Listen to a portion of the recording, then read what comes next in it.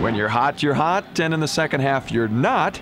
You'll lose a ball game. That's what happened to the USD men's basketball squad last night. The Coyotes jumped on SDSU early, making their first five shots and taking a 10-2 lead. It didn't last long. The Jackrabbits quickly caught up with the hot Coyotes, but could never get the lead.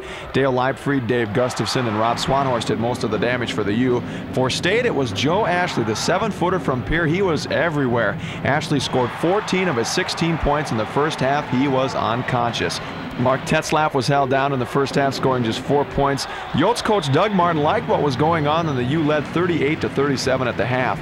But then the shots wouldn't drop in the second half for the Coyotes. Tetzlaff was unstoppable, scoring 13 points. The Coyotes had trouble getting layups to drop as Gap, Olson, and Russ Skovlin all miss in this sequence. State took advantage of it, winning it 78 to 69 before over 7,000 fans. SDSU is now 5 and 4 in league play. USD drops to 1 and 8. From Frost Arena, Gary Weckwerth, KELOLAND Sports.